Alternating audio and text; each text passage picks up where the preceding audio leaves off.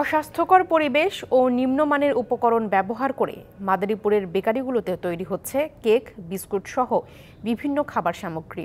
এতে অসহায় সাধারণ ভোক্তারা। মাঝে মাঝে ফ্যাক্টরিগুলোকে কিছু জরিমানা করা হলেও মান উন্নয়ন বা ফ্যাক্টরি বন্ধ করার ব্যবস্থা নেয়নি কর্তৃপক্ষ। মাদারীপুরের বেকারিগুলোর পরিবেশ দেখার যেন কেউ নেই। এই তেলটা আপনি কে খাচ্ছে? আমরা খাচ্ছি। এগুলোর না আছে পরিবেশ ছাড়পত্র না আছে বিএসটিআই অনুমোদন। এসব খাবার খেয়ে বিভিন্ন রোগে আক্রান্ত হচ্ছে ক্রেতারা।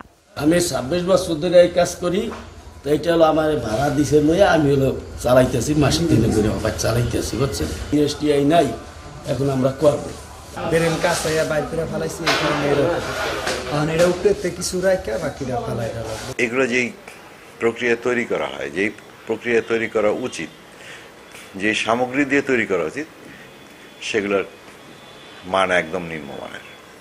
এবং যেগুলো পুনঃব্যবহারযোগ্য না সেগুলো পুনর্ব্যবহার হইতেছে।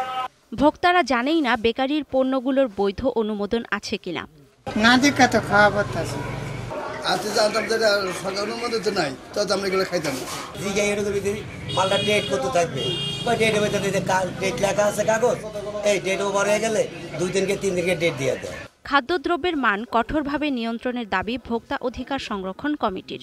প্রশাসনের কাছে দাবি জানাচ্ছি যে যেহেতু এই খাবারগুলি বয়োজ্যেষ্ঠ শিশু এবং সমাজের সবাই এই খাবারটা খাচ্ছে প্রশাসন এটা সজাগ থাকবেন যে সেই জিনিসটা সরকার অনুমোদিত কিনা। এসব বেকারির বিরুদ্ধে ব্যবস্থা নেওয়ার কথা জানিয়েছেন জেলা প্রশাসক। এই বিষয়গুলো নিয়ে আমাদের অভিযান চলছে চলমান আছে।